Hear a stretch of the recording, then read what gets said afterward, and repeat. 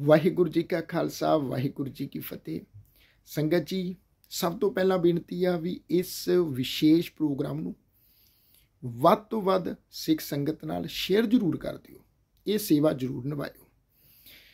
ਕਿਉਂਕਿ ਅੱਜ ਮੱਗਰ ਦਾ ਮਹੀਨਾ ਜਿਹੜਾ ਉਹ ਆਰੰਭ ਹੋ ਚੁੱਕਾ ਹੈ। ਵੈਸੇ ਤਾਂ ਕੋਈ ਨਵੀਂ ਗੱਲ ਨਹੀਂ ਆ, ਕਿਉਂਕਿ ਜਿੰਨੀ ਸਾਡੀ ਉਮਰ ਆ ਨਾ ਜੀ, ਜਿੱਦਾਂ ਕਿਸੇ ਦੀ 20 ਸਾਲ ਉਮਰ ਆ, ਕਿਸੇ ਦੀ 25 ਸਾਲ ਉਮਰ ਹੋਵੇਗੀ, ਕਿਸੇ ਦੀ 50 ਸਾਲ ਉਮਰ ਹੋਵੇਗੀ, ਕਿਸੇ ਦੀ 60 ਕਿਸੇ ਦੀ 80 ਤੇ ਇਹ ਮੱਗਰ ਦਾ ਮਹੀਨਾ, ਅੱਜ ਕੋਈ ਨਵਾਂ ਮਹੀਨਾ ਤਾਂ ਨਹੀਂ ਚੜਿਆ। ਸਾਡੀ ਉਮਰ ਮੁਤਾਬਕ ਕਈ ਸਾਲਾਂ ਤੋਂ ਇਹ ਮੱਗਰ ਦਾ ਮਹੀਨਾ ਚੜਦਾ ਆ ਰਿਹਾ ਹੈ। ਪਰ ਵਿਚਾਰ ਕਰਨ ਵਾਲੀ ਇਹ ਆ, ਮੱਗਰ ਦਾ ਮਹੀਨਾ ਤੇ ਹਰ ਸਾਲ ਹੁੰਦਾ ਪਰ ਇਸ ਮੱਗਰ ਦੇ ਮਹੀਨੇ ਵਿੱਚ ਅਸੀਂ ਆਪਣੀ ਜ਼ਿੰਦਗੀ 'ਚ ਕੀ ਬਦਲਾਵ ਲੈ ਕੇ ਆਏ ਆ, ਕੀ ਚੇਂਜ ਲੈ ਕੇ ਆਏ ਆ, ਇਸ ਗੱਲ ਦੀ ਵਿਚਾਰ ਕਰਨ ਵਾਲੀ ਆ। ਅੱਜ ਤੁਸੀਂ ਗੁਰਦੁਆਰਾ ਸਾਹਿਬ ਗਏ ਹੋਵੋਗੇ। ਅਕਸਰ ਹੀ ਸਿੱਖ ਸੰਗਤਾਂ ਜਦੋਂ ਸੰਗਰਾਂਦ ਦਾ ਦਿਨ ਹੁੰਦਾ ਹੈ ਨਾ, ਨਵਾਂ ਮਹੀਨਾ ਆਰੰਭ ਹੋਣਾ ਹੁੰਦਾ ਹੈ, ਉਦੋਂ ਸੰਗਤਾਂ ਗੁਰਦੁਆਰਾ ਸਾਹਿਬ ਜ਼ਰੂਰ ਮੱਥਾ ਟੇਕਦੀਆਂ ਨੇ। ਦੇ ਅਰਦਾਸ ਕਰਦੀਆਂ ਵੀ ਇਹ ਮੱਗਰ ਦਾ ਮਹੀਨਾ ਜਾਂ ਕੱਤਕ ਦਾ ਮਹੀਨਾ, ਕੋਈ ਵੀ ਮਹੀਨਾ ਚੜਿਆ ਇਹ ਸਾਡੇ ਘਰ ਪਰਿਵਾਰਾਂ ਵਿੱਚ ਸੁਖ ਸ਼ਾਂਤੀ ਦੇ ਨਾਲ ਬਤੀਤ ਹੋ ਚਲੋ ਅਰਦਾਸ ਕਰਦੇ ਹੋ, ਕਰਨੀ ਵੀ ਚਾਹੀਦੀ ਆ। ਪਰ ਇੱਕ ਗੱਲ ਨੂੰ ਖਿਆਲ 'ਚ ਰੱਖਿਓ। ਅਰਦਾਸਾਂ, ਬੇਨਤੀਆਂ ਜ਼ਰੂਰ ਕਰੋ। ਪਰ ਦਿਨਾਂ ਦੀ ਵਿਚਾਰਾਂ ਵਿੱਚ ਨਾ ਪਓ ਵੀ ਆਹ ਦਿਨ ਚੰਗਾ ਹੈ, ਆਹ ਦਿਨ ਮਾੜਾ ਹੈ, ਇਹ ਮਹੀਨਾ ਚੰਗਾ ਹੈ, ਇਹ ਮਹੀਨਾ ਮਾੜਾ ਹੈ, ਇਹ ਸਾਲ ਚੰਗਾ ਸੀ, ਆਹ ਸਾਲ ਬੜਾ ਮਾੜਾ ਸੀ। ਗੁਰੂ ਸਾਹਿਬ ਨੇ ਸਾਨੂੰ ਇਹ ਗੱਲਾਂ ਨਹੀਂ ਸਿਖਾਈਆਂ। ਮਹਾਰਾਜ ਜੀ ਦਾ ਤੇ ਬਹੁਤ ਪਿਆਰਾ ਉਪਦੇਸ਼ ਆ। ਮਾ ਦਿਵਸ, ਮੂਰਤ ਭਲੇ ਜਿਸ ਕਉ ਨਦਰ ਕਰੇ, ਨਾਨਕ ਮੰਗੈ ਦਰਸ਼ਦਾਨ। ਕਿਰਪਾ ਕਰੋ ਹਰੇ। ਜਾਂ ਮਹਾਰਾਜ ਕਹਿੰਦੇ, ਸੋਈ ਦਿਨਸ ਸੁਹਾਵੜਾ, ਜਿਤ ਪ੍ਰਭ ਆਵੇ ਚਿਤ, ਜਿਤ ਦਿਨ ਵਿਸਰੈ ਪਾਰ ਬ੍ਰਹਮ, ਫਿੱਟ ਭੁਲੇਰੀ ਰੁੱਤ। ਗੁਰੂ ਪਾਤਸ਼ਾਹ ਦਾ ਕਹਿੰਦੇ ਵੀ, ਸਾਰੇ ਦਿਨ ਚੰਗੇ ਆ, ਸਾਰੇ ਮਹੀਨੇ ਚੰਗੇ ਆ। ਸਮਾਂ ਕੋਈ ਵੀ ਹੋਵੇ, ਉਹ ਚੰਗਾ ਮਾੜਾ ਨਹੀਂ ਹੁੰਦਾ। ਅਸਲ ਦੇ ਵਿੱਚ ਕਿਸੇ ਦਾ ਕਰਮ ਚੰਗਾ ਮਾੜਾ ਹੋ ਸਕਦਾ ਹੈ, ਕਿਸੇ ਦੀ ਸੋਚ ਚੰਗੀ ਮਾੜੀ ਹੋ ਸਕਦੀ ਆ, ਕਿਸੇ ਦੀ ਨੀਅਤ ਚੰਗੀ ਮਾੜੀ ਹੋ ਸਕਦੀ ਆ। ਪਰ ਦਿਨ ਚੰਗੇ ਮਾੜੇ ਨਹੀਂ ਹੁੰਦੇ, ਮਹੀਨੇ ਚੰਗੇ ਮਾੜੇ ਨਹੀਂ ਹੁੰਦੇ, ਸਾਲ ਚੰਗਾ ਮਾੜਾ ਨਹੀਂ ਹੁੰਦਾ। ਅੱਜ ਮੱਗਰ ਦਾ ਮਹੀਨਾ ਚੜਿਆ ਨਾ, ਤੁਸੀਂ ਦੇਖੋ 12 ਮਾਹ ਦੀ ਬਾਣੀ ਵਿੱਚੋਂ ਤੁਸੀਂ ਸ਼ਬਦ ਸਰਵਣ ਕੀਤਾ, ਗੁਰੂ ਅਰਜਨ ਦੇਵ ਮਹਾਰਾਜ ਜੀ ਦਾ ਉਚਾਰਨ ਕੀਤਾ ਹੋਇਆ, ਕਿੰਨਾ ਪਿਆਰਾ ਸ਼ਬਦ ਆ। ਇਹਦੀ ਬਹੁਤੀ ਡਿਟੇਲ ਨਹੀਂ ਕੇਵਲ ਦੋ ਤੁਕਾਂ ਨੂੰ ਹੀ, ਪਹਿਲੀਆਂ ਜਿਹੜੀਆਂ ਦੋ ਤੁਕਾਂ ਵਾ ਇਹਨਾਂ ਨੂੰ ਸਮਝ ਲਓ। ਮੰਗਰ, ਮਾਹੀ, ਸੁਹੰਦੀਆਂ, ਹਰ ਪਿਰ ਸੰਗ ਬੈਠੜੀਆਂ, ਤਿੰਨ ਕੀ ਸ਼ੋਭਾ ਕਿਆ ਗਣੀ, ਜੇ ਸਾਹਿਬ ਮੇ ਲੜੀਆਂ ਹੁਣ ਗੁਰੂ ਪਾਤਸ਼ਾਹ ਕੀ ਸਮਝਾ ਰਹੇ ਆ ਜੀ? ਇਹ ਵਿਚਾਰ ਨੂੰ ਸਮਝੋ। ਇਦਾਂ ਨਾ ਕਰਿਆ ਕਰੋ ਵੀ ਗੁਰਦੁਆਰੇ ਗਏ, ਮਹੀਨੇ ਦਾ ਉਪਦੇਸ਼ ਸੁਣਿਆ, ਨਾਮ ਸੁਣਿਆ ਤੇ ਵਾਹਿਗੁਰੂ ਵਾਹਿਗੁਰੂ ਕਹਿੰਦੇ, ਜੀ ਅਸੀਂ ਧਨ ਹੋ ਗਏ, ਮਹੀਨੇ ਦਾ ਨਾਮ ਸੁਣ ਲਿਆ ਤੇ ਘਰ ਨੂੰ ਆ ਗਏ।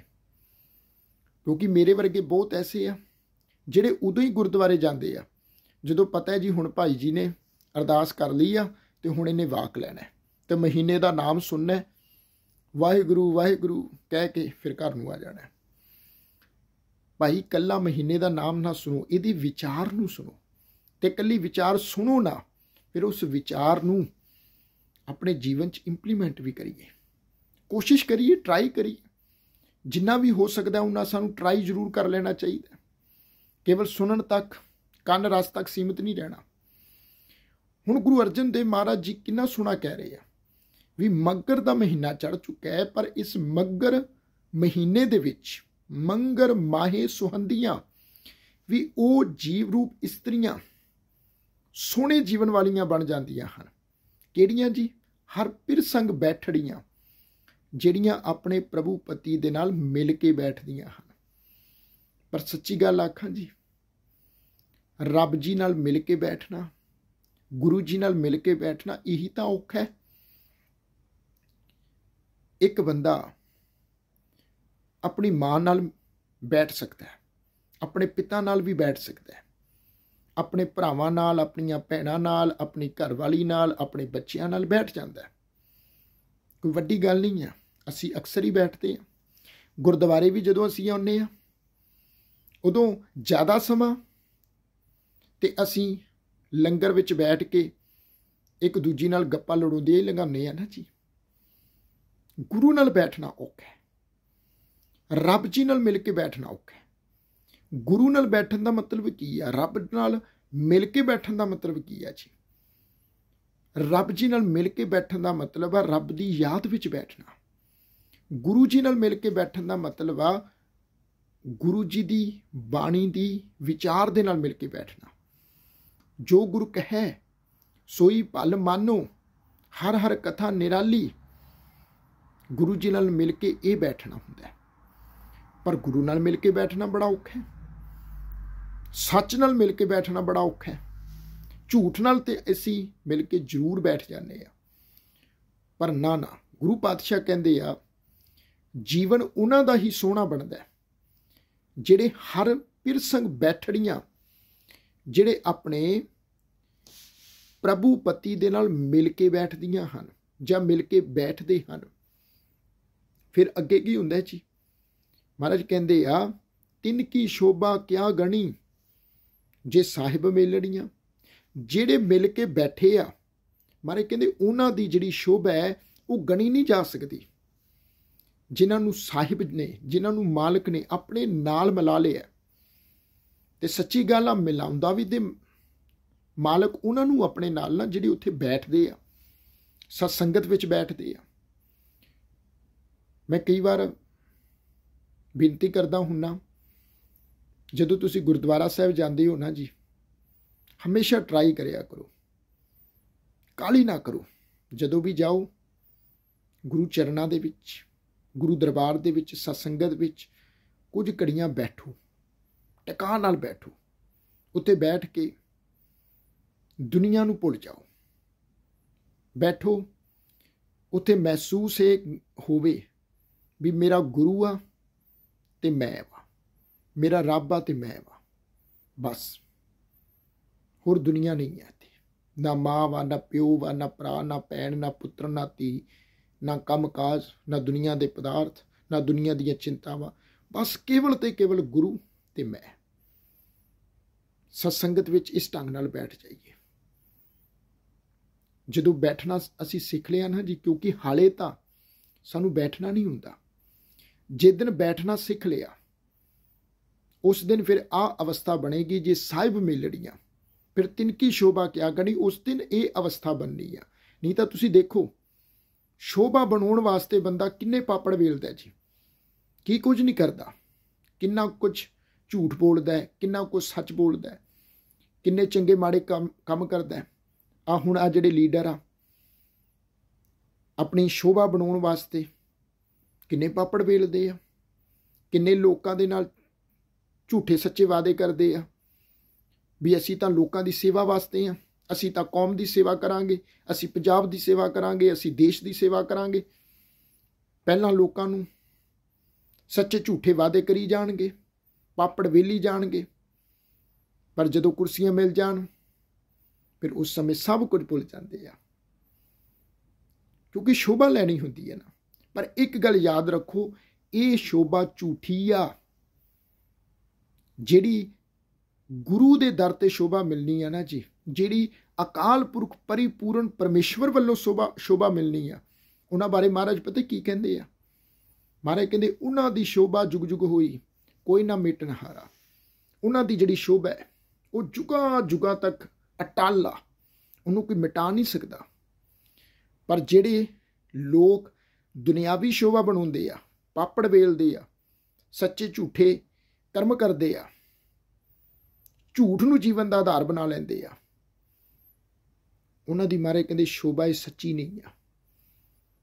ਸੱਚੀ ਉਹਨਾਂ ਦੀ ਸ਼ੋਭਾ ਹੈ ਜਿਨ੍ਹਾਂ ਨੂੰ ਮਾਲਕ ਨੇ, ਸਹਿਬ ਨੇ, ਗੁਰੂ ਨੇ ਆਪਣੇ ਨਾਲ ਮਿਲਾ ਲਿਆ ਜਿਹੜੇ ਗੁਰੂ ਨਾਲ ਮਿਲ ਕੇ ਬੈਠੇ ਆ। ਗੁਰਸਿੱਖਾਂ, ਇੱਕੋ ਪਿਆਰ, ਗੁਰਮਿੱਤਾ, ਪੁੱਤਾਂ, ਭਾਈਆਂ, ਜਿਨ੍ਹਾਂ ਦੇ ਜੀਵਨ ਵਿੱਚ ਇਹ ਅਵਸਥਾ ਬਣ ਗਈ ਆ।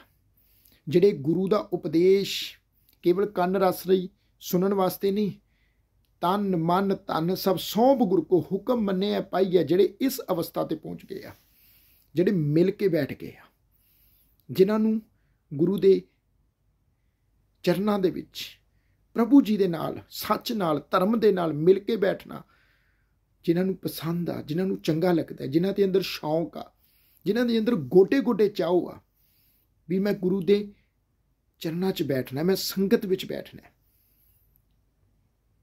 ਜਿਹੜੇ ਗੁਰਦੁਆਰੇ ਪਕੌੜੇ ਖਾਣ ਨਹੀਂ ਜਾਂਦੇ, ਜਲੇਬੀਆਂ ਖਾਣ ਨਹੀਂ ਜਾਂਦੇ, ਜਿਹੜੇ ਕਹਿੰਦੇ ਵੀ ਮੈਂ ਗੁਰੂ ਨੂੰ ਮਿਲਣ ਚੱਲਿਆ ਮੈਂ ਗੁਰੂ ਦੇ ਚਰਨਾਂ 'ਚ ਬੈਠਣ ਚੱਲਿਆ ਮੈਂ ਸੰਗਤ ਕਰਨ ਚੱਲਿਆ ਮੈਂ ਕੀਰਤਨ ਸੁਣਨਾ ਹੈ, ਮੈਂ ਗੁਰਬਾਣੀ ਦੀ ਵਿਚਾਰ ਸੁਣਨੀ ਆ ਤੇ ਕੇਵਲ ਸੁਣਨੀ ਨਹੀਂ ਨੂੰ ਆਪਣੇ ਜੀਵਨ 'ਚ ਲੈ ਕੇ ਆਉਣਾ ਹੈ। ਤੋ ਮੱਗਰ ਦਾ ਮਹੀਨਾ ਕੇਵਲ ਸੁਣ ਕੇ ਨਾ ਲੰਘਾਓ। ਪਤਾ ਨਹੀਂ ਕਿੰਨੀ ਵਾਰ ਇਹ ਮੱਗਰ ਦਾ ਮਹੀਨਾ ਚੜਿਆ ਕਿੰਨੀ ਵਾਰ ਇਹ ਅਗਾਹ ਵੀ ਹੋਣਾ ਜੇ ਰੱਬ ਨੇ ਸਵਾਸ ਦਿੱਤੇ। ਪਰ ਵਿਚਾਰ ਕਰਨ ਵਾਲੀ ਇਹ ਆ, ਮੱਗਰ ਮਾਹੀ ਸੁਹੰਦੀਆਂ, ਸੋਹਣੀਆਂ ਤੇ ਉਹੀ ਨੇ, ਸੋਹਣੇ ਤਾਂ ਉਹੀ ਆ। ਹਰਪ੍ਰੀਤ ਸਿੰਘ ਬੈਠੜੀਆਂ ਜਿਹੜੇ ਰੱਬ ਨਾਲ ਮਿਲ ਕੇ ਬੈਠ ਗਏ ਆ, ਉਹੀ ਸੋਹਣੇ ਆ। ਅਸੀਂ ਆ ਮੂੰਹ ਆਪਣਾ ਸੋਹਣਾ ਬਣਾ ਲੈਨੇ ਆ, ਕੱਪੜੇ ਸੋਹਣੇ ਪਾ ਲੈਨੇ ਇਦਾਂ ਸੋਹਣੇ ਨਹੀਂ ਹੋਈਦਾ। ਸਾਨੂੰ ਤਾਂ ਸੋਹਣੇ ਬੰਨਾ ਵੀ ਨਹੀਂ ਹੁੰਦਾ। ਸਾਨੂੰ ਤੇ ਸੁਹਾਪਣ ਆਪਣੇ ਜੀਵਨ ਵਿੱਚ ਲੈ ਕੇ ਵੀ ਨਹੀਂ ਹੁੰਦਾ। ਅਸੀਂ ਝੂਠੇ ਸੋਹਣੇ ਬਣਦੇ ਆ।